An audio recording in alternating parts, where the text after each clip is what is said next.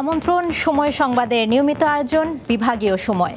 থাকব সপ্তাহের সাত দিন ভিন্ন ভিন্ন বিভাগের সংবাদ নিয়ে। আজ ঢাকা বিভাগ, সঙ্গে আছি আমি ফারিহা মারিয়াম। এবার শিরোনাম। টাঙ্গাইলে চলন্ত বাসে গণডাকাতি ও ধর্ষণের ঘটনায় গ্রেফতার আরও দুই। জড়িত সবাই চিহ্নিত, বলছে পুলিশ। ঝটিকা পরিবহনের বাস চালককে চলছে জিজ্ঞাসাবাদ। পার্লারে চাকরি দেওয়ার প্রলোভন দেখিয়ে পাচার করা হতো নারীদের। নারায়ণগঞ্জে চক্রের ছয় সদস্য গ্রেফতার। কিশোরী সহ তিনজন উদ্ধার, মোবাইল ফোন জব্দ।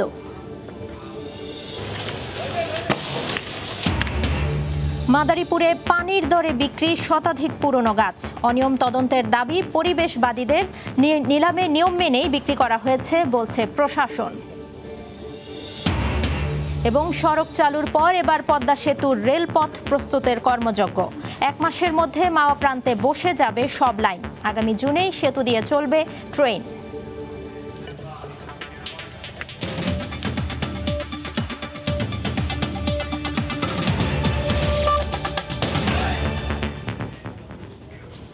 টাঙ্গাইলে চলন্ত বাসে গণডাকাতি এবং ধর্ষণের ঘটনায় আরও দুজনকে গ্রেফতার করা হয়েছে। জড়িত বাকিদেরও চিহ্নিত করা হয়েছে বলে জানায় পুলিশ। এদিকে গ্রেফতার ঝটিকা পরিবহনের বাস চালককে চলছে জিজ্ঞাসাবাদ। ডাকাত দলের তেরো সদস্যের পূর্ব পরিকল্পনা মোতাবেক ঘটে টাঙ্গাইলের বাসে গণডাকাতি ও সংঘবদ্ধ ধর্ষণ। প্রেস ব্রিফিং এ উঠে এসেছে এমন তথ্য। পুলিশ জানায়, ঝটিকা পরিবহনের বাস চালক আসামি রাজা মিয়ার দেওয়া তথ্যানুসারে গাজীপুরের কালিয়াকৈর থেকে আওয়াল এবং নূর নবীকে কালিয়াকৈরের সোহাগপল্লির শিলাবহ এলাকা থেকে গ্রেফতার করা হয়। তার দেওয়া তথ্য মতে, গত রাতে তাকে জিজ্ঞাসাবাদ করে যে তথ্য পেয়েছি, সেই তথ্য পেয়ে আমাদের জেলা গোয়েন্দা শাখা উত্তরের কয়েকটি চৌকস দল রাতে অভিযান পরিচালনা করে। টাঙ্গাইল জেলা এবং জেলার বাইরের কয়েকটি স্থানে। তো অভিযান পরিচালনা করে আমরা গত রাতে ওই ঘটনার সাথে ডাকাতি এবং ধর্ষণ ঘটনার সাথে দুজন আসামিকে গ্রেপ্তার করেছি। আসামি নুর নবীর বিরুদ্ধে এর আগেও ডাকাতি এবং ছিনতাইয়ের মামলা রয়েছে। আসামিদের বিরুদ্ধে আর কোনো অপরাধ আছে কিনা সেটি খতিয়ে দেখা হচ্ছে বলে জানায় পুলিশ। যাত্রীদের কাছ থেকে লুণ্ঠিত হওয়া একটি মোবাইল উদ্ধার করা গিয়েছে। সেটা আমা- আমরা জব্দ করে আমাদের হেফাজতে নিয়ে এসেছি। আসামিদের জিজ্ঞাসাবাদ চলছে। আমরা চব্বিশ ঘণ্টার সময় পাবো। চব্বিশ ঘণ্টা জিজ্ঞাসাবাদ করে আমরা পরবর্তী আইনি কার্যক্রম গ্রহণ ঘটনাটি ঘটে। এই ঘটনায় মধুপুর থানায় অজ্ঞাত বেশ কয়েকজনকে আসামি করে একটি মামলা করেন বাসের এক যাত্রী। এই ঘটনায় এখন পর্যন্ত তিনজনকে গ্রেফতার করা হয়েছে। সময় সংবাদ, টাঙ্গাইল।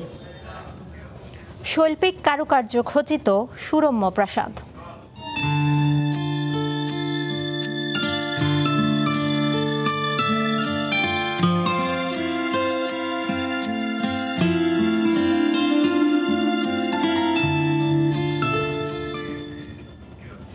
কিশোরগঞ্জের দৃষ্টিনন্দন গাঙ্গাটিয়া জমিদার বাড়ি নিয়ে রিপোর্ট থাকছে সংবাদের শেষাংশে পার্লারে চাকরি দেওয়ার প্রলোভনে পাচার করত নারীদের।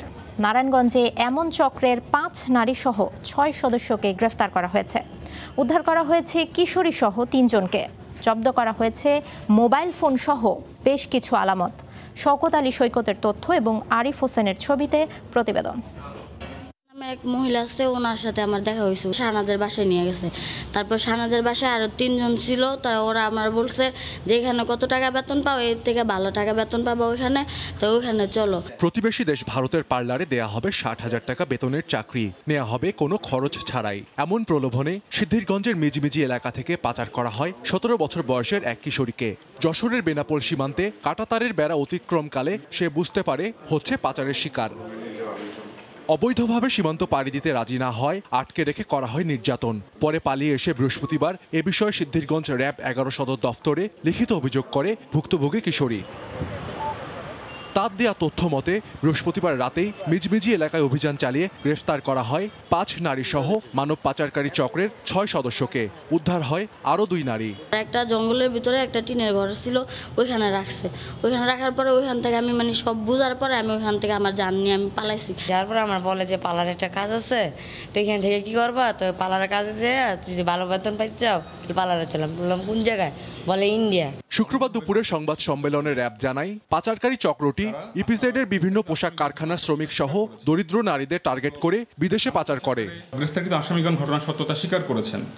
অত্র মানব পাচারকারী মানব পাচারকারী সদস্যদের আসামিদের গ্রেফতারে আমাদের প্রচেষ্টা অব্যাহত রয়েছে। উদ্ধারকৃত তিন নারীকে তাদের পরিবারের কাছে হস্তান্তর এবং অভিযুক্তদের বিরুদ্ধে সিদ্ধিরগঞ্জ থানায় মামলা করা হয়েছে। তাদের যে মোবাইল সময় সংবাদ নারায়ণগঞ্জ। বিভাগীয় সময় আরও থাকছে। ছয় বছরেও চালু হয়নি টাঙ্গাইল মেডিকেল কলেজ হাসপাতালের চিকিৎসা কার্যক্রম। নষ্ট হচ্ছে কোটি টাকার যন্ত্রপাতি, সেবা বঞ্চিত প্রত্যাশীরা। মাদারীপুরের কালকিনিতে পানির দরে বিক্রি করা হলো এলজিইডির অর্ধশত বছরের পুরনো মেহগনি, রেইনট্রি সহ বিভিন্ন প্রজাতির গাছ। নামমাত্র মূল্য দেখিয়ে গাছগুলোকে বিক্রি করায় সরকার বিপুল পরিমাণ রাজস্ব থেকে বঞ্চিত হওয়ায় ক্ষুব্ধ হয়েছেন স্থানীয়রা। গাছ বিক্রিতে দুর্নীতি হয়েছে কিনা বিষয়টি তদন্তের দাবি জানিয়েছেন পরিবেশ ভিত্তিক সংগঠনের নেতারা। যদিও উপজেলা প্রশাসনের দাবি, নিলামের মাধ্যমে গাছগুলো নিয়ম মেনেই বিক্রি করা হয়েছে। সঞ্জয় কর্মকার অভিজিতের রিপোর্ট, ছবি তুলেছেন শাহদাত আকন। মাদারীপুরের কালকিনির সিডিখান থেকে শিকদার বাজার পর্যন্ত এলজিইডির একশো আঠারোটি গাছ বিক্রির জন্য গত ১৩ জুলাই উপজেলা ভূমি অফিসের পক্ষ থেকে নিলামের জন্য নোটিশ দেওয়া হয়। অর্ধশত বছরের পুরনো মেহগনি, রেন্ট্রি, শিশু চাম্পল সহ বিভিন্ন গাছের মূল্য নির্ধারণ করা হয় দুই লাখ আটান্ন হাজার নয়শো আশি টাকা। পরে চব্বিশ জুলাই নিলামের গাছগুলো কেটে নেওয়ার দায়িত্ব পান ব্যবসায়ী মাতুল মাতব্বর। নামমাত্র দাম দেখিয়ে গাছগুলো বিক্রি করায় ক্ষুব্ধ স্থানীয়রা। একুশশো টাকা করে বিক্রি করছে কিন্তু এক একটা গাছের দাম আছে পঞ্চাশ হাজার ষাট হাজার কোনো গাছের দাম আছে এক লাখও। সরকারি সম্পদ এই যে লুটে পেটে খাইতেছে কারা খাইতেছে? যা প্রয়োজনীয় দরকার গাছ যে না এই গাছটা কাটতে হবে। ওই গাছটা কাটুক কিন্তু গাছ যত বীজ বিক্রি করছে তার বাইরে যাতে না কাটা হয়। এই ব্যাপারে স্থানীয় সংসদ সদস্যের দোহাই দিয়ে কথা বলতে চাননি গাছ কেটে নেয়ার দায়িত্ব পাওয়া ব্যবসায়ী। এই গাছ টেন্ডার নিছে মানিক ভাই কি কইছে বলতেন হ্যাঁ তো নাম আনছি ভালো লাগে আপনারা আলাপ করেন। গাছের মূল্য দুই থেকে তিন কোটি টাকা উল্লেখ করে পরিবেশ ভিত্তিক সংগঠনের নেতারা তদন্ত করে ঘটনায় দোষীদের বিচারের দাবি জানান। যারা এই দুর্নীতি করেছে তাদেরকে বিচারের আওতায় এনে অতি সংক্ষিপ্ত সময়ে চরম বিচার আনা এনে তাদেরকে শাস্তি দেওয়া উচিত। তবে উপজেলা প্রশাসনের দাবি এলজিইডির সড়ক উন্নয়নে নিয়ম মেনেই গাছগুলো বিক্রি করা হয়েছে। নিলাম প্রক্রিয়ায় আমার সর্বোচ্চ উঠেছে দুই লাখ আটান্ন। আমাকে তো একটা পর্যায়ে ক্লোজ করতে হয়। আমি তিন ডাক, চার ডাক, পাঁচ ডাক, দুই দুই লক্ষ আটান্নর পর আর কেউ ডাক না দিলে তো আমার দুই লক্ষ আটান্নতেই আমাকে ক্লোজ করতে হবে।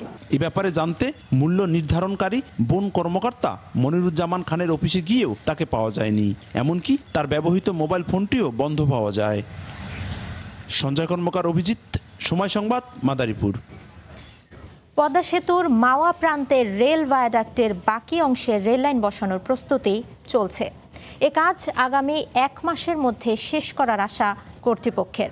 ইতিমধ্যে জাজিরা প্রান্তে চার কিলোমিটার দীর্ঘ ভায়াডাক্টের রেললাইন বসানো সম্পন্ন হয়েছে। কর্তৃপক্ষের আশা, আগামী জুনে পদ্মা সেতু দিয়ে রেল চলাচল করবে। নাসির উদ্দিন উজ্জ্বলের রিপোর্ট, ছবি তুলেছেন আবু সাইদ।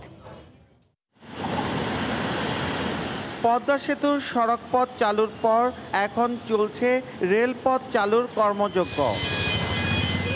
সেতুর মাওয়া প্রান্তে রেল সংযোগ সেতুর চোদ্দ ও পনেরো নম্বর খুঁটির পরিবর্তিত নকশায় স্পেন বসানোর তিন মাস পূর্তি হওয়ার পরই এই অংশের কাজ শুরু হয়েছে। বসানো হচ্ছে রড, স্লিপার আর দুই পাশে রেলপাত। ফরিদপুরের ভাঙার স্লিপার কারখানা থেকে আনা হচ্ছে স্লিপার আর চীন থেকে এসেছে রেলপাত। এদিকে একশো বাহাত্তর কিলোমিটার দীর্ঘ ঢাকা যশোর রেল লিঙ্ক প্রকল্পে তিরিশ কিলোমিটারে বসবে পাথরবিহীন রেল লাইন। ইতোমধ্যেই প্রায় এগারো দশমিক দুই তিন কিলোমিটারে লাইন বসে গেছে।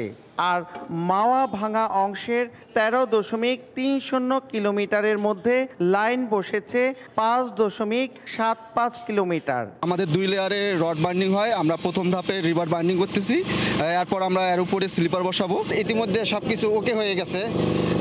সেক্ষেত্রে আমরা দু তিন দিনের ভিতরেই আমরা এ জায়গায় কংক্রিটিং করতে পারব। ল্যাব টেস্টের মাধ্যমে গুণগত মান পরীক্ষা করা হয়।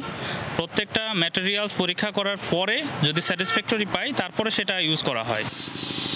মাওয়া প্রান্তের ভায়াডাক্টের কাজ আগামী এক মাসের মধ্যে সম্পন্ন করার আশা কর্তৃপক্ষের। পাথরবিহীন রেল লাইন করার সে কাজটা অলরেডি চলমান আছে চলতেছে। আমরা আশা করতেছি এক মাসের মধ্যে আমরা এই কাজটা সম্পন্ন করে ফেলব। পদ্মা সেতুর জাজিরা প্রান্তে চার কিলোমিটার দীর্ঘ ভায়াডাক্টের রেল লাইন বসানো সম্পন্ন হয়েছে। দুই দশমিক পাঁচ সাত কিলোমিটার দীর্ঘ পদ্মা সেতুর মা প্রান্তের রেল ভায়াডাক্টের বাকি আটশো ষাট মিটার এলাকায় এখন পাথরবিহীন রেল লাইন বসানোর প্রস্তুতি চলছে পুরোদমে। মুন্সীগঞ্জের মাওয়া থেকে নাসির উদ্দিন উজ্জ্বল, সময় সংবাদ। ছয় বছরেও চালু হয়নি টাঙ্গাইল মেডিকেল কলেজ হাসপাতালের চিকিৎসা কার্যক্রম। এতে একদিকে হাসপাতালের যন্ত্রপাতি নষ্ট হচ্ছে, অন্যদিকে সেবা থেকে বঞ্চিত হচ্ছেন জেলাবাসী। তবে এই ব্যাপারে কর্তৃপক্ষ ক্যামেরার সামনে কথা বলতে রাজি হয়নি। তবে টাঙ্গাইল আড়াইশো শয্যার জেনারেল হাসপাতালের তত্ত্বাবধায়ক নানা সমস্যার কথা জানিয়ে দ্রুতই হাসপাতালটি চালু করার আহ্বান জানান। কাদির তালুকদারের তথ্য এবং রাশেদ খানের ছবিতে বিস্তারিত। দিনের পর দিন অব্যবহৃত পড়ে আছে টাঙ্গাইল মেডিকেল কলেজ হাসপাতালের মূল্যবান যন্ত্রপাতি। ঢাকা টাঙ্গাইল মহাসড়কে প্রতিনিয়ত সড়ক দুর্ঘটনার কারণে জেলায় অবস্থিত দুশো পঞ্চাশ শয্যার জেনারেল হাসপাতালে সবসময়ই প্রচণ্ড রোগের চাপ থাকে। ফলে প্রায়ই জরুরি রোগী রেফার করতে হয় ঢাকা মেডিকেল কলেজ হাসপাতালে। এ অবস্থায় সরকার উন্নত চিকিৎসা সেবা দিতে টাঙ্গাইল মেডিকেল কলেজ হাসপাতাল নির্মাণের উদ্যোগ নেয়। দু হাজার ষোলো সালে টেন্ডার প্রক্রিয়া শেষের পর দু হাজার উনিশ সালে কাজ শেষ করার কথা থাকলেও দুই দফায় সময় বাড়িয়েও শেষ হয়নি কাজ। এতে বছরের পর বছর অব্যবহৃত পড়ে আছে হাসপাতালটির মূল্যবান যন্ত্রপাতি। এ অবস্থায় দ্রুত মেডিকেল কলেজ হাসপাতালটি চালুর দাবি সেবা প্রত্যাশীদের। এখানে হয়তো জটিল রোগীদেরও চিকিৎসা করা হবে কিন্তু আমরা এখনও পর্যন্ত সেই সেবা পাচ্ছি না। যত তাড়াতাড়ি সম্ভব যদি ও- মানে খুলে ওপেন করা হয় তাহলে সাধারণ মানুষের সুবিধা পাবে। এ বিষয়ে মেডিকেল কলেজ হাসপাতাল কর্তৃপক্ষ কথা বলতে রাজি হয়নি। তবে টাঙ্গাইল জেনারেল হাসপাতালের তত্ত্বাবধায়ক হাসপাতালটি চালু না হওয়ার নানা জটিলতার কথা তুলে ধরে শিগগিরই চালুর আহ্বান জানান। ছোটোখাটো এবং মাঝারি ধরনের রোগ নিয়ে তারা কিন্তু আমাদের যথেষ্ট চিকিৎসা পাচ্ছে। মেডিকেল কলেজ হাসপাতাল চালু হলে এর অন্তত আমাদের যে রোগগুলো রেফার হচ্ছে তার সেভেন্টি ফাইভ পার্সেন্ট রোগী আর রেফার হবে না। জেলার চল্লিশ লাখ মানুষের জন্য আড়াইশো শয্যার জেনারেল হাসপাতালে প্রতিদিন আউটডোর ও ইনডোরে প্রায় বারোশো রোগী চিকিৎসা নেন। সময় সংবাদ, টাঙ্গাইল। ফরিদপুরের বোয়ালমারী উপজেলা স্বাস্থ্য কমপ্লেক্স থেকে কাঙ্ক্ষিত সেবা না পাওয়ার অভিযোগ রোগী এবং স্বজনদের। এক্স রে কিংবা আলট্রাসনোগ্রাম থাকলেও তা নষ্ট হয়ে পড়ে আছে। নেই পর্যাপ্ত লোকবল এ অবস্থায় দ্রুতই হাসপাতালটির অবকাঠামোগত উন্নয়ন সহ সেবার মান বাড়ানোর দাবি জানিয়েছেন সেবাগ্রহীতারা হাসপাতালের জনবল সংকটের কথা স্বীকার করেন কর্মরত চিকিৎসকও। সুমন ইসলামের পাঠানো তথ্য এবং ছবিতে রিপোর্ট। ফরিদপুরের বোয়ালমারী উপজেলা স্বাস্থ্য কমপ্লেক্স। উপজেলার প্রায় আড়াই লাখ মানুষের চিকিৎসা সেবার একমাত্র সরকারি হাসপাতাল। উনিশশো সাতাশি সালে একত্রিশ শয্যা থাকলেও দু হাজার সাত সালে তা পঞ্চাশ শয্যায় উন্নীত করা হয়। রয়েছে একটি এক্স রে মেশিন এবং আলট্রাসোনোগ্রাম করানোর ব্যবস্থা। তবে হাসপাতালটি আধুনিকায়ন করা হলেও নানা জটিলতায় চিকিৎসা সেবা ব্যাহত হচ্ছে। টেকনিশিয়ানের অভাবে নষ্ট হয়ে গেছে এক্স রে মেশিন। একই অবস্থা আলট্রাসোনোগ্রামেরও চিকিৎসক সহ জনবল সংকট দিন দিন তীব্র আকার ধারণ করছে। এতে হাসপাতালে চিকিৎসার বদলে ভোগান্তির শিকার হচ্ছেন রোগী ও তার স্বজনরা। এক্স রে করাতে আসছি। এখানে যন্ত্রপাতি আছে কিন্তু কোনো লোক নাই। যার কারণে আমরা এখন বাইরে থেকে অনেক টাকাতে করা লাগতেছে। এত সুন্দর মেশিন থাকতো আমরা বাইরের থেকে এই আলট্রাসোনোগ্রাম করতে হয়। শ্রেণি কর্মচারী না থাকার জন্য আমরা ভালোভাবে পরিষ্কার পরিচ্ছন্ন রাখতে পারি না। কাজে একটু বিঘ্ন ঘটে। হাসপাতালের নানা অসুবিধার কথা স্বীকার করলেন কর্মরত চিকিৎসকও। চতুর্থ শ্রেণি এবং তৃতীয় শ্রেণির লোক বলেন তৃতীয় এবং চতুর্থ শ্রেণির লোকগুলোর প্রচণ্ড সংকটে আসলে আমরা হিমশিম খেয়ে যাচ্ছি। আমাদের এক্স রে চলতো ইদানিং। কয়েকদিন আগে আমাদের এক্স রে টেকনিশিয়ান উনি বদলি হয়ে যান, ফলে আপাতত আমার এক্স রেটা বন্ধ আছে। এছাড়া স্বাভাবিক যতগুলো সেবা আমরা এখন দিয়ে যাচ্ছি। বর্তমানে হাসপাতালটিতে শিশু চর্ম অর্থোপেডিক বিভাগের চিকিৎসক সহ প্রথম শ্রেণির এগারোটি পদ শূন্য। পাশাপাশি তৃতীয় শ্রেণির কর্মচারীদের চৌষট্টি জনের মধ্যে শূন্য রয়েছে তেত্রিশটি পদ। এছাড়া একজন আয়া তিনজন পরিচ্ছন্নতা কর্মী এবং বাইরের নয়জনকে দিয়ে প্রতিদিন মজুরি ভিত্তিক ওয়ার্ড বয়ের কাজ করানো হচ্ছে। সময় সংবাদ ফরিদপুর। বিভাগীয় সময় আরও থাকছে। দেশীয় কাঁচামাল ব্যবহার করে সাভারে তৈরি হচ্ছে পরচুলা। স্থানীয় চাহিদা মিটিয়ে রফতানি হচ্ছে বিশ্বের চোদ্দটি দেশে। মানিকগঞ্জে স্ত্রীকে জবাই করে হত্যা মামলার মূল হোতা স্বামী রূপক সহ অন্যান্য আসামিদের শাস্তির দাবিতে মানববন্ধন এবং বিক্ষোভ কর্মসূচি পালন করেছেন নিহত সুমির স্বজন এবং এলাকাবাসী। সকালে ঢাকা আরিচা মহাসড়কের বানিয়াজুরি বাসস্ট্যান্ড এলাকায় ঘণ্টাব্যাপী মানববন্ধনের পর বিক্ষোভ মিছিল বানিয়াজুরি কাকজোর এলাকা প্রদক্ষিণ করে।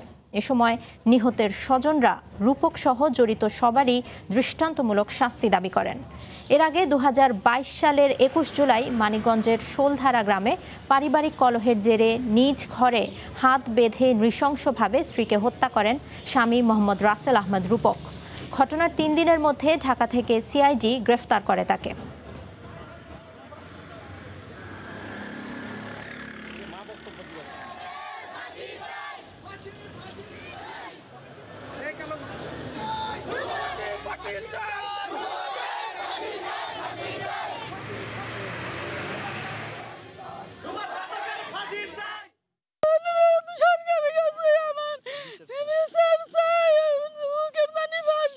এই হত্যাকাণ্ডের সাথে তার স্বামী ঘাতক, রূপক একা জড়িত নয়।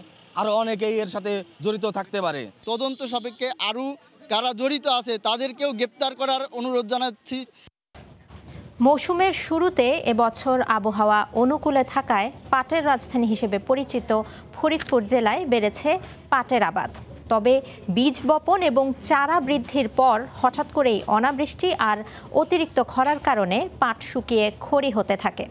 এর মধ্যে পাট কাটা শুরু হলেও জাগ দেওয়ার পর্যাপ্ত পানি পাচ্ছে না কৃষক। ফলে ফলন বিপর্যয়ে দিশেহারা চাষিরা।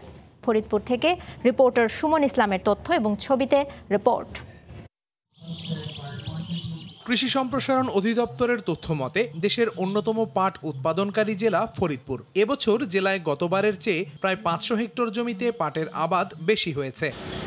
এদিকে, অতিরিক্ত খরা আর অনাবৃষ্টির কারণে পাটের গোড়া শক্ত হয়ে যাওয়ায় পাট গাছগুলো শুকিয়ে খড়ি হয়ে যাচ্ছে। এতে পাটের ফলন বিপর্যয়ে লোকসানের চিন্তায় দেশে হারা কৃষক। আশা করছিলাম যে অনেক ফলমান ভালো হবে, কিন্তু এবার সেই ফলমানটা পাইনি। পাট সব শুকাইয়া খড়ি হয়ে গেছে। পানির অভাবে পাট কাটতেছি কিন্তু সেই পাট যে কোথায় নিব বা কোথায় নেওয়ার জায়গা আমরা পাইতেছি খরা আর অনাবৃষ্টি মোকাবিলা করে পাট কাটা ও জাগ দেওয়ার পরামর্শ দিচ্ছে কৃষি বিভাগ। পানির বাড়িতে চৌবাচ্চা করে অথবা চারির মধ্যে রিবন রেটিং পদ্ধতিতে যে পাটের হ্রাস পচানোর ব্যবস্থা আছে সেই ব্যাপারেও আমরা পরামর্শ দিচ্ছি। জেলায় এবছর সাড়ে সাতাশি হাজার হেক্টর জমিতে পাটের আবাদ হয়েছে। সময় সংবাদ ফরিদপুর। বিভাগীয় সময়ে আরেকবার। মানিকগঞ্জের জাগির বন্দর আড়তে সপ্তাহ ব্যবধানে কমেছে সবজির সরবরাহ। ফলে সব ধরনের সবজির বেড়েছে দাম। এর মধ্যে মরিচের দাম আকাশচুম্বী। কৃষকদের দাবি সার সহ উৎপাদন খরচ বাড়ায় সবজির দাম ঊর্ধ্বমুখী। মোহাম্মদ ইউসুফ আলীর পাঠানো তথ্য এবং রমজান আলীর তোলা ছবিতে রিপোর্ট। কাকডাকা ভরে উৎপাদিত সবজি নিয়ে মানিকগঞ্জের জাগির বন্দর আড়তে আসেন চাষিরা। বেলা গড়ার সঙ্গে সঙ্গে হাকডাকে জমি উঠে বেচা কেনা। পাওয়া যাচ্ছে মরিচ, পটল, মূলা, পুঁইশাক, বেগুন, বরবটি সহ টাটকা সবজি। তবে সপ্তাহ ব্যবধানে আড়তে কমেছে সবজির সরবরাহ। ফলে প্রকারভেদে প্রতি কেজি সবজির দাম বেড়েছে চার থেকে পাঁচ টাকা পর্যন্ত। এর মধ্যে মাত্র তিন দিনেই মরিচের দামে ঝাল। পাইকারি বিক্রি হচ্ছে একশো পঞ্চাশ থেকে একশো ষাট টাকা আর খুচরা বাজারে একশো আশি থেকে একশো নব্বই টাকা। এতে ক্রেতারা ক্ষুব্ধ হলেও চাষিদের দাবি, উৎপাদন খরচ বেড়ে যাওয়ায় লাভের অংশ উঠছে না তাদের। আমরা যে কিনা খাব অসম্ভব। অতিরিক্ত হয়ে গেছে কাঁচামরিচের দামটা। এগুলো আমাদের কেনাকাটার জন্য অনেক সমস্যা হইতেছে। এই সমস্ত কিচ্ছানি করে পোষাই না। সারের দাম বেশি আমরা যে বিষ বিষ কিনে সবই। এদিকে আড়তের নানা সমস্যার কথা উল্লেখ করে দ্রুত সমাধান চাইলেন আড়ত কমিটির সদস্য। এখান থেকে যে ঢাকুলি যাওয়ার যে রাস্তাটা এই রাস্তাটা যদি সংস্কার করা হয় তাহলে এই আরদে মালামাল আসার জন্য উপযোগী হয় এবং অতি সহজে মাল আসতে পারে। ধলেশ্বরী নদীর পাড়ের এই সবজির আড়তে সহস্রাধিক পাইকার ও একশো একাত্তর জন আড়তদারের মাধ্যমে প্রতিদিন কোটি টাকার সবজি কেনা বেচা হয়। সময় সংবাদ মানিকগঞ্জ। নরসিংদীতে ক্রমেই বাড়ছে বিদেশি ফল, ড্রাগনের চাষাবাদ। শিবপুরে বাণিজ্যিক ভিত্তিতে ড্রাগন চাষ করে সফল হচ্ছেন অনেকেই। ভিনদেশে এই ফল চাষাবাদ করে স্বাবলম্বী হওয়ার স্বপ্ন দেখছেন বেকার যুবক এবং কৃষকরা। এ অঞ্চলের মাটি এবং আবহাওয়া এই ফল চাষের উপযোগী বলে জানায় স্থানীয় কৃষি বিভাগ। মাহমুদুল হাসান মাহফুজের ছবি এবং আশিকুর রহমান পিয়ালের পাঠানো তথ্য নিয়ে রিপোর্ট। নরসিংদীর শিবপুর উপজেলার খৈনকুট এলাকায় দু হাজার আঠারো সালে মাত্র তিন বিঘা জমিতে ড্রাগন চাষ শুরু করেন রাশেদ আহমেদ এবং তার চার বন্ধু। পরবর্তী দুই বছরে উৎপাদিত ফলের লাভ দিয়েই জমির পরিমাণ বৃদ্ধি করেন ছয় বিঘায়। জমি জুড়ে ফলন ধরেছে লাল সবুজের সুস্বাদু এবং পুষ্টিগুণ সমৃদ্ধ এই ড্রাগন ফল। প্রতিবার দেড় থেকে দুই মেট্রিক টন পরিমাণে মাসে দুইবার করে অন্তত ছয় মাস চলে ফল নামানো ও বেচার কাজ। এতে অন্তত ৩৫ লাখ টাকার আয় হবে বলে জানিয়েছেন চাষিরা। বর্তমানে অত্যাধুনিক প্রযুক্তি সহিত যদি আমরা কৃষিটাকে হ্যান্ডেল করতে পারি প্রফিটেবল বিজনেস হিসাবে নিতে পারি। আমাদের টার্গেট হচ্ছে যে আমরা মিনিমাম তিরিশ থেকে বত্রিশ লক্ষ টাকা বিক্রি করতে পারব। আরও পরিকল্পনা আছে যে আমরা ভবিষ্যতে আরও কিছু এরকম জায়গা সিলেক্ট করব যেখানে আমরা এই প্রজেক্টটা আরও বাড়াবো। এমন সাফল্য দেখে আশপাশের অনেক কৃষক সীমিত পরিসরে ড্রাগন ফলের চাষ শুরু করেছেন। ভালো লাভ হওয়ায় খুশি তারা। অনেকেই আসছেন বাগান থেকে ফল কিনতে সেই সাথে আগ্রহ দেখাচ্ছেন ড্রাগন চাষের। বাগান করার জন্য এখানে পরামর্শ নিতে আসলাম। তারা কীভাবে শুরু করছে এবং পরবর্তীতে আমি এটাকে ইন্সপায়ার এটা করার জন্য। জানিয়ে কৃষি কর্মকর্তা জানান এই ফল চাষ সম্প্রসারণে কৃষি বিভাগ নিয়মিত তদারকি করছে। নতুন উদ্যোক্তা হতে চায় তাদেরকে আমরা প্রশিক্ষণ দিচ্ছি এবং প্রযুক্তিগত সহযোগিতা আমাদের সবসময় আমরা তাদের করে থাকি। কৃষি বিভাগের তথ্য মতে, জেলায় ড্রাগন চাষাবাদ হয়েছে নয় হেক্টর জমিতে। প্রতিটি ড্রাগন গাছ একটানা পঁচিশ বছর ধরে ফল দিয়ে থাকে। এক একটি গাছ থেকে বছরে বিশ থেকে পঁচিশ হাজার টাকার ফল ও চারা বিক্রি করা সম্ভব বলে জানিয়েছে কৃষি বিভাগ। বর্তমানে স্থানীয় বাজারে কেজি প্রতি আড়াইশো থেকে তিনশো টাকায় বিক্রি হচ্ছে ভিনদেশি এই ফল। সময় সংবাদ, নরসিংদী। বিভাগীয় সময়ে আরেকবার। সম্ভাবনাময় রপ্তানি পণ্য পরচুলা। সাভারে তরুণ এক উদ্যোক্তা দেশীয় কাঁচামাল ব্যবহার করে এই ব্যবসায় সাফল্য পেয়েছেন। বিদেশি কারখানার চাকরি ছেড়ে বন্ধুদের নিয়ে গড়ে তুলেছেন লিমিটেড কোম্পানি। তার পরচুলা স্থানীয় চাহিদা মিটিয়ে ভারত, পাকিস্তান, মধ্যপ্রাচ্য, আমেরিকা, ইউরোপ সহ মোট চোদ্দটি দেশে রপ্তানি করা হচ্ছে। মোজাফের হোসাইনের তথ্য এবং মনির হোসেনের ছবিতে রিপোর্ট। একটি কোরিয়ান কোম্পানিতে প্রায় আট বছর কাজ করে পরচুলার ওপর বিশেষ প্রশিক্ষণ নিয়ে সাভারের আরিফ মাহমুদ নিজেই গড়ে তোলেন একটি পরচুলা প্রস্তুতকারী কারখানা। প্রথমে তিন থেকে চারজন কর্মচারী নিয়ে এই কারখানা শুরু করলেও মাত্র চার বছরের মাথায় আরও কয়েকজন উদ্যোক্তা নিয়ে গড়ে তোলেন লিমিটেড কোম্পানি। কয়েক বছরের মাথায় বিদেশে পরচুলা রপ্তানি করে ব্যাপক সাড়া পান। বাংলাদেশে আমরা ওয়েস্টেজ পণ্য দিয়ে রেমিটেন্স আনছি। কারখানাটির শ্রমিকরা জানান পরচুলা কারখানায় কাজ করে তারা এখন বেশ স্বাবলম্বী। গড়ে প্রতি মাসে পনেরো থেকে বিশ হাজার টাকা উপার্জন করেন তারা। চুল দিয়ে আমরা নোটিং করি এক একটা এক এক রকমের কাজ করি। হাইস্টে দুই দুই দিন থেকে তিন দিন লাগে একটা কাজ করতে। রেট হইতাছে পঁচিশশো থেকে তিন হাজার টাকা। প্রতিষ্ঠানটির কর্মরত সুপারভাইজাররা জানান কাঁচামাল সংগ্রহের পর বিভিন্ন প্রক্রিয়ার মাধ্যমে পরচুলাগুলো বায়ারদের চাহিদা অনুযায়ী প্রস্তুত করে রপ্তানিযোগ্য করে তোলা হয়। আমরা এটা প্রসেসিং এর মাধ্যমে কাজের উপযোগী করে তুলে। কারখানার কর্মকর্তারা জানান পরচুলা স্থানীয় চাহিদা মিটিয়ে ভারত পাকিস্তান মধ্যপ্রাচ্য আমেরিকা ইউরোপ সহ মোট চোদ্দটি দেশে রপ্তানি করা হচ্ছে। মেজরিটি পার্সেন্ট প্রোডাক্টগুলো দেশের বাইরে এক্সপোর্ট করা হয়। আমাদের এই ম্যাটেরিয়ালগুলো র ম্যাটেরিয়ালগুলো দেশের মধ্যে থেকে কিছু কালেক্ট করা হয় আর মেজরিটি পার্সেন্ট কালেক্ট করা হয় দেশের বাইরে থেকে। কারখানাটিতে বায়ারদের চাহিদা অনুযায়ী চায়না বাংলা হলিউড কিওসিক্স বোলু প্লান্ট এই পাঁচ আইটেমের পরচুলা উৎপাদন করা হয়। সময় সংবাদ সাভার। কিশোরগঞ্জের হোসেনপুরে কালের সাক্ষী হয়ে দাঁড়িয়ে আছে চারশো বছরের প্রাচীন দৃষ্টিনন্দন গাঙাটিয়া জমিদারি বাড়ি। জমিদারি প্রথা বিলীন হয়ে গেলেও এ বাড়িতে এখনও বসবাস করছেন জমিদার অতুল চক্রবর্তীর বংশধর। প্রতিদিনই শত শত পর্যটক বেড়াতে আসেন সবুজে ঘেরা এই জমিদার বাড়িতে। নূর মোহাম্মদের পাঠানো তথ্য এবং শরীফুল ইসলামের ছবিতে রিপোর্ট। তিন পাশে পুকুর আর মাঝখানে চারশো বছরের প্রাচীন অট্টালিকা। কিশোরগঞ্জের হোসেনপুরের এই বাড়িটি গঙ্গাটিয়া জমিদার বাড়ি। ষোড়শ শতাব্দীতে প্রতিষ্ঠিত জমিদার বাড়িটি স্থানীয়দের কাছে মানববাবুর বাড়ি নামে পরিচিত। গ্রিক সভ্যতার আদলে নির্মিত বাড়ির সামনে দৃষ্টিনন্দন তোরণ। চারদিকে সুরক্ষিত উঁচু দেয়ালের মাঝে মাঝে ছোট ছোট প্রবেশ পথে সংস্কৃত ভাষায় স্বাগতম লেখা আছে। প্রধান ফটকে লেখা আছে শ্রীধর ভবন। ভেতরে প্রবেশ করতেই চোখে পড়বে সবুজের সমারোহ ছায়া ঘেরা শত শত গাছ গাছালি আর ফুলের আধিক্য। মূল ফটক দিয়ে সামনে এগুলেই নানা শৈল্পিক কারুকার্য খচিত সুরম্য প্রাসাদ। প্রায় দশ একর এলাকা জুড়ে জমিদার বাড়িতে রয়েছে বিশাল অট্টালিকা, দরবার গৃহ, বৈঠকখানা, নহবতখানা অতিথি কক্ষ সংগীত চর্চা কক্ষ মন্দির ও সাত বাঁধানো পুকুরঘাট। প্রতিটি স্থাপনায় চোখে পড়বে তৎকালীন শৈল্পিক কারুকাজ। কক্ষের ভেতরে রয়েছে নানা কারুকার্য খচিত খাট পালঙ্ক সহ নানা আসবাবপত্র। বাড়ির বেশ কিছু স্থাপনা ক্ষতিগ্রস্ত হলেও বেশিরভাগ অংশই সংস্কার করা হয়েছে। শহরের কোলাহল মুক্ত পরিবেশে জমিদার বাড়িটি দেখতে প্রতিদিন ভিড় করেন পর্যটকরা। ফাঁকার মধ্যে একটা সুন্দর ঘোরার জায়গা। তো মোটামুটি জায়গাটা খুব শান্ত নিরিবিলি পরিবেশ তো। ভালো লাগতেছে ঘুরে। প্রত্যেক ঈদের মধ্যে আমরা সবাই এখানে আসি বন্ধু বান্ধব মিলে অনেক মজা করি আনন্দ করি। জমিদার বাড়ির কথা শুনছি। তারপরে মনে করলাম যে দেখে যাই। বর্তমানে এই বাড়িতে বসবাস করছেন শেষ জমিদার মানবেন্দ্রনাথ চক্রবর্তী চৌধুরী। তার নামেই এটি এখন মানববাবুর বাড়ি নামে পরিচিত। মুক্তিযুদ্ধের সময় পাকিস্তানি হানাদার বাহিনীর হামলায় মারা যান তার বাবা ভূপতি চক্রবর্তী সহ পরিবারের বেশ কয়েকজন। এরপর পরিবারের সবাই ভারতে চলে গেলেও রয়ে যান মানববাবু। খুব পাকা টাকা করে সুন্দর করে এটা করেছি। এমনকি সেখানে ফুল বাগান করে রেখেছি যেহেতু আমি দেহ বাগান এখানে হবে।